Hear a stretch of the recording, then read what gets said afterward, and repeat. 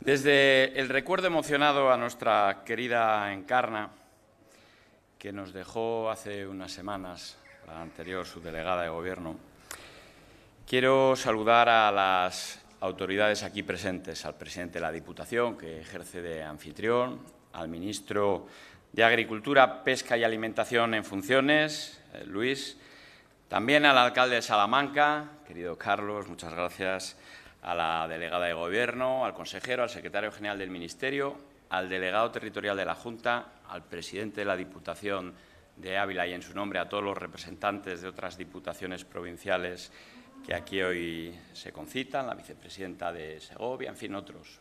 A toda la corporación provincial, a todos los representantes de la vida social, agroganadera y de la vida económica también de Salamanca y de Castilla y León, a todos los representantes de los distintos sectores sociales. Señoras y señores, muy buenos días. Tienen que ser mis primeras palabras también de enhorabuena a la Diputación Provincial, a su presidente, porque la eficacia de la organización de este certamen hace que sea, desde luego, la primera feria, la más importante de, de toda España. Y es un placer inaugurar esta feria en Salamanca hoy, que es el epicentro de nuestra potencia agropecuaria de la que nos sentimos profundamente orgullosos. Es un sector potente y principal que contribuye con fuerza, contribuye con esfuerzo a la calidad y a la modernización del crecimiento de Salamanca, de Castilla y León y de España.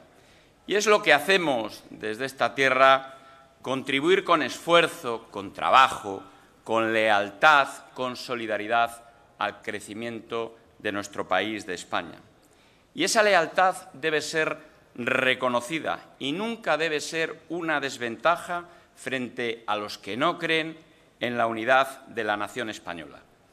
Y siempre defenderemos esa unidad y la igualdad de todos los españoles en todos los territorios en todas las condiciones, en derechos, en libertades, en servicios públicos y en oportunidades.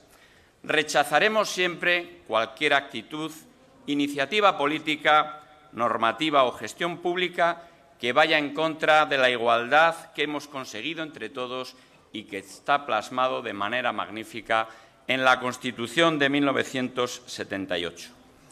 Soy el presidente de Castilla y León y estoy orgulloso de lo que hemos conseguido en esta tierra, de lo que hemos aportado históricamente a la formación de la nación española. Nadie nos puede dar lecciones ni de historia ni de ser históricos.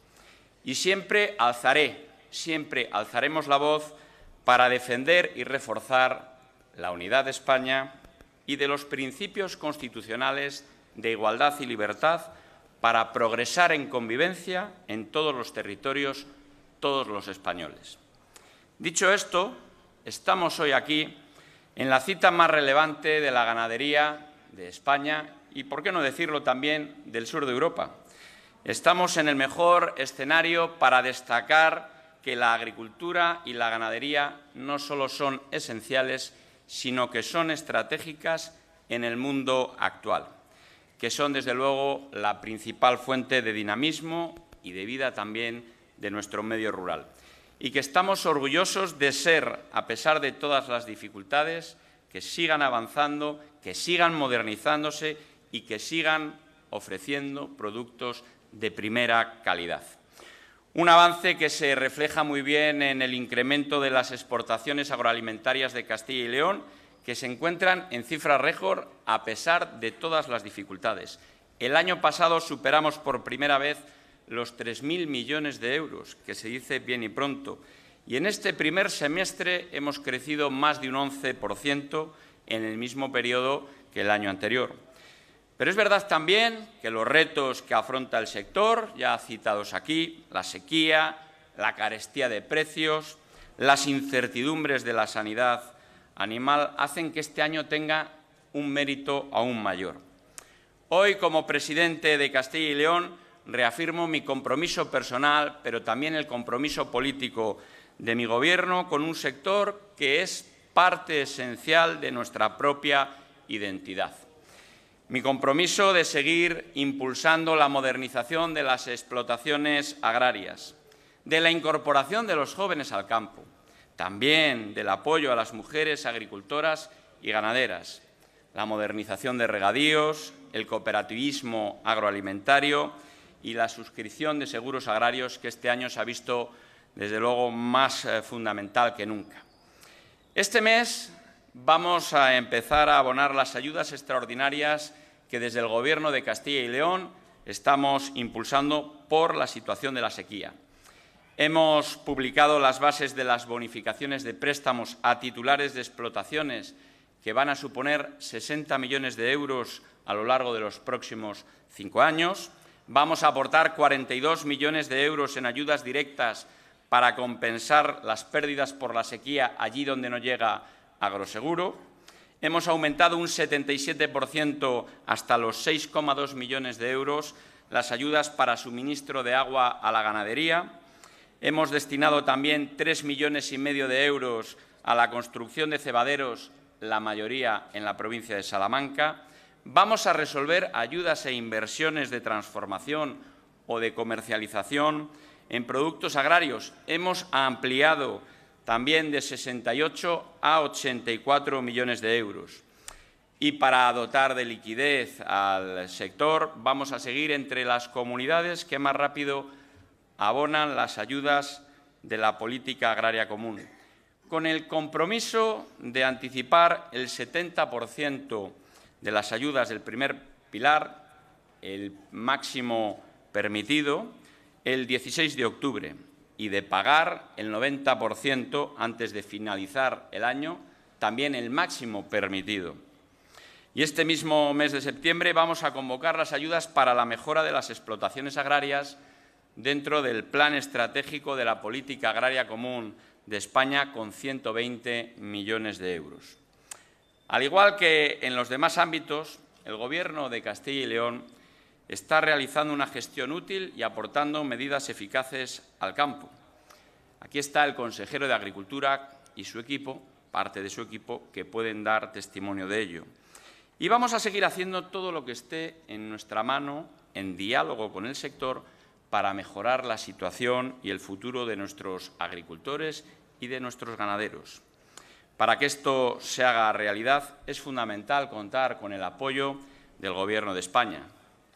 Ministro en funciones, querido Luis, siempre has tenido mi lealtad como presidente de la Junta de Castilla y León. Es la forma en la que yo creo de hacer política. El año pasado terminaste tu, discurso aquí en Salamac, apelando a la unión de fuerzas para trabajar entre todos de una forma positiva, constructiva y leal. Y es verdad que la cercanía de los dirigentes políticos en este tipo de actos es loable, pero no es menos cierto que también es más necesaria para utilizarla en los canales de comunicación directos que tenemos abiertos entre nosotros para resolver los problemas, los malentendidos, o los errores o equivocaciones que de todo hay en la viña del Señor. Pero actuar sin previo aviso y a golpe de boletín oficial puede ser, desde luego, efectista desde un punto de vista político. Pero tenemos más canales más eficaces para colaborar en solucionar los problemas de los ganaderos, que es un objetivo que nos une a todos, y apostar por la calidad en la sanidad animal y no crear más problemas de los que se pretenden solucionar. Es chocante esa rapidez con la que se inmovilizó por parte del Ministerio la cabaña ganadera en perjuicio del prestigio de nuestra carne y la lentitud en otros asuntos que nos afectan. Claro que nos preocupan la falta de actuaciones con la enfermedad hemorrágica. Ya obligado a extremar la prevención en esta misma feria y tememos que pueda causar perjuicios muy graves.